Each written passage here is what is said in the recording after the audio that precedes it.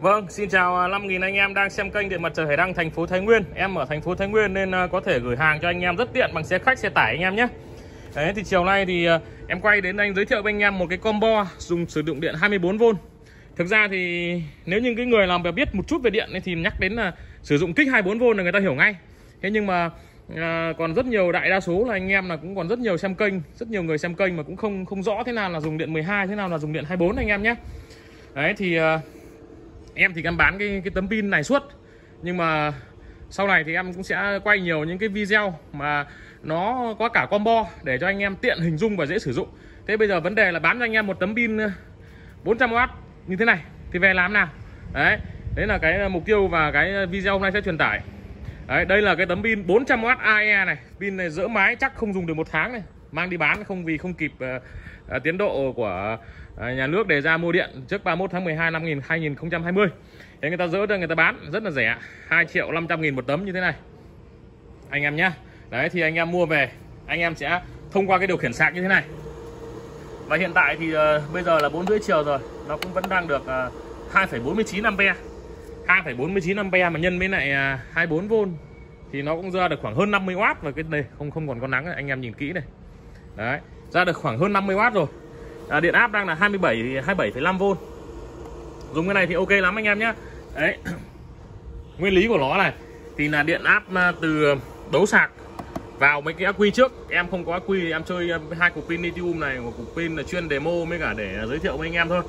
Đấy hai cục pin này nối tiếp lại với nhau thì cũng coi như là hai cái bình ắc quy thôi. Anh em dùng cái bình ắc quy ô tô thải cũng được. Bình ắc quy um, Ờ, nước ác quy khô trôi tất anh em ạ để tận dụng cho nó rẻ thì ví dụ như anh em sử dụng hai bình 100A thì nó chỉ rơi vào khoảng uh, nếu mà bình mới thì khoảng 4 triệu.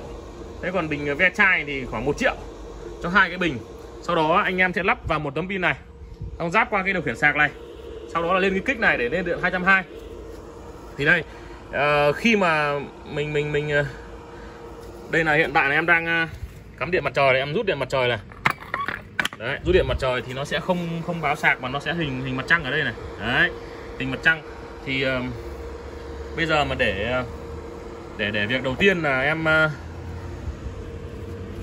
em demo với cả em quay cho anh em dễ dễ dễ dễ hình dung nhá. Hiện tại thì uh, em đã cấp điện vào cái sạc rồi. Đây. Thì em tạm rút nó ra anh em nhé tạm rút nó ra để cho nó tắt ngúm đi. Đấy cái việc đầu tiên là đưa điện 24V từ ắc quy xông vào cái sạc này. Đấy, việc đầu tiên đấy nhá, anh em nhé này, nếu mà để sử dụng đấy. Việc đầu tiên để sử dụng là như thế. Quạt sạc lại. Thì trên cái sạc này nó cũng đánh dấu sẵn rồi. Đây là đầu dương của ắc quy này, đây là đầu âm của ắc quy này, đây là hình ắc quy này. Đấy, thì cái việc đầu tiên là cấp điện ắc quy vào sạc này để nó chạy đã. Để nó biết là nó đang sạc cho hệ 12 24V ok, sau khi đã cấp điện từ ắc quy vào sạc rồi, thì anh em sẽ cấp điện tấm pin. Đấy, thì cái sạc ấy nó nhận điện ở mức từ 50V với 50V đấy, khi mà cấp điện tấm pin vào rồi, thì nó sẽ hiện ra là cái hình ông mặt trời. Và có cái mũi tên nhấp nháy kia là điện đang truyền từ tấm pin vào ắc quy. Và nó hiện là cái hệ 24V và tùy theo mình sẽ cài đặt cái này là ắc quy gì đấy. Thế thì nó sẽ sạc được vào dòng sạc là mình biết ngay. Hiện tại là nó trời xuống dâm hơn nó còn có 1,6A thôi. Thì kệ nó. Đấy hàng ngày là mình có thể quan sát được. Cái tấm pin mà mà mà áp cao thì thì thì thì nó rất là rẻ. Đấy một tấm như thế này nó chỉ có 2 triệu 500 nghìn thôi. Sau đó thì nó rất bền anh ạ. Người ta bảo hành đến 12 năm cơ. Thế sau đó thì mình ờ, sẽ tận dụng những cái ác quy thải để mình sạc vào bình đã. Sau khi sạc vào bình thì mình lại có một con kích kích thì các anh em cũng phải lưu ý này. Để tương ứng với cái nó còn là hệ 24V anh em nhé 24V lên 220V đấy. DC 24V nhưng mà lại lên AC 220V thì anh cứ thế này là anh em xài thôi. Đây, nó đã lên đây là 225V này. Và em cắm quạt này. Cắm quạt này nhá. Cắm quạt này, bật quạt này đấy bật số 3 cho khỏe nhất này. Thì nó đang ăn à, ăn 65W khá là mạnh quạt này em nó cũng to. Nó đang ăn 65W đấy thì em bật luôn thêm một cái bóng điện nữa này. Cắm cái gì vào thì nó sẽ đều hiển hiển hiển thị số vôn số watt lên ngay. Đấy. Ăn thêm con này là 20W nữa này là thành 83W này. Rút ra này. Đấy 60W thì con này là 23W rồi con này trên định mức của nó là ghi ờ, 20W nhưng mà thực ra nó ăn hơn một chút. Không sao cả, càng tốt càng sáng. 60 nhá 60 mà lên đến 82 tức là 22W thì chả vướng gì cả, đấy là quạt này, chiếu sáng này. Thậm chí là ăn thêm một cái sấy tóc này. Ăn thêm một cái sấy tóc này. Em bật nó lên này, một lớp một này. Đó 280W thì ok lắm chả vấn đề gì đâu anh em ạ. Bật bước hai này. 900W Đấy, nhưng mà để bền thì mình cứ dùng khoảng à, 4 500W thôi. Anh em nhé đấy chính là cái cách sử dụng tấm pin năng lượng mặt trời.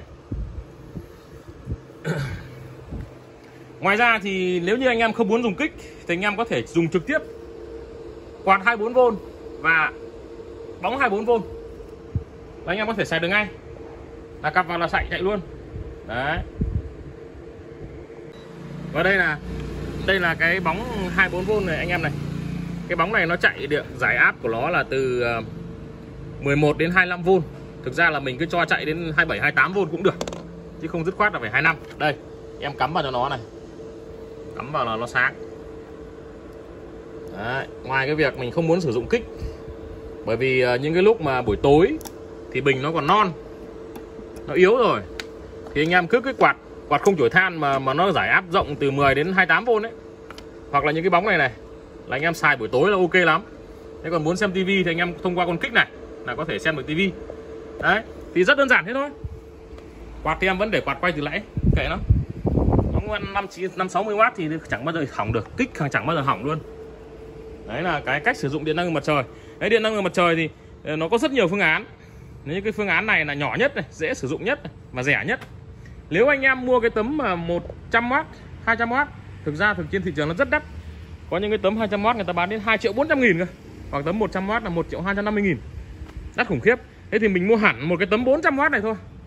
Mà nó rất bền tấm dày dặn chắc chắn. Đấy thông qua cái cái điều khiển sạc này để nó sạc vào ắc quy thì ắc quy gì cũng được anh em nhé ắc quy 12V hoặc là pin lithium 24V thì càng tốt. Đấy. Thế thì nó sạc đầy vào thì mình sạc đầy ắc quy thì mình có thể là vừa sạc vừa sai. Thì ok lắm. Đấy. Thì tối rồi thì nó không còn không không còn còn điện nữa thì nó vẫn còn để đủ bánh sáng để sạc cái này anh em này. Đấy sạc vào ắc quy vẫn nhìn thấy cái mũi chân nhấp nháy anh em thấy không? Và khi cái đường này được sạc thì mình lại kích lên để sử dụng 220 đấy là cái cách sử dụng anh em nhé. Đấy anh em uh, chú ý ờ, xem là cái cách em, em biểu diễn như thế nào thì ờ, sắp tới đây thì em cũng sẽ quay nhiều cái video. Và em cũng báo giá luôn này. Tấm pin là 2 triệu 500 nghìn này. Ờ, điều khiển sạc là 600 nghìn này. Ắc quy là 2 triệu này. Đấy. À đâu, cái này là cái kích. Gọi là inverter. Inverter 1000W anh em có thể chạy ờ, 1000W ok. Nhưng mà chạy bền ở cái mức độ 7 800W trở lại thôi. Thì nó rất là bền. Nhưng mà cái chạy nhiều ở cái mức 1000 hoặc hơn nghìn thì nó nhanh chết lắm. Cái phép nó nóng. Đấy. Của bền tại người mà anh em dùng cho nó hợp lý lẽ ra nó gánh được một tạ thì mình bắt nó gánh 70 cân nó rất bền rất lâu. Nhưng mà gánh tạ ông Tần bắt giã tạ hai thì làm sao mà chịu được? Nó chết nhanh thế thôi. Đấy, đấy là cái cách sử dụng đấy nhá. Tấm pin này thông qua điều khiển sạc này sạc vào ắc quy này từ ắc quy kích lên này ra 220 để sử dụng cho quạt này cho bóng đèn này cho máy sấy này. Đấy ok. Đấy là cái cách sử dụng à, điện năng lượng mặt trời. Mà từng bước từng bước một thì em cũng sẽ à, giới thiệu với anh em về những cái mà cách sử dụng những cái hệ to, hệ bé, hệ kiểu gì thì sử dụng điện mặt trời. Sử dụng kiểu gì? Sử dụng như thế nào? Thì em sẽ dần dần giới thiệu anh em nhé. Rồi, anh em ờ, thấy hay thì ờ, xin ờ, cho một like, một đăng ký kênh. Và muốn mua hàng thì có thể là liên hệ trực tiếp em. Số điện thoại 0989971780 thành phố Thái Nguyên anh em nhé. Rồi, xin cảm ơn và hẹn gặp lại anh em ở video sau.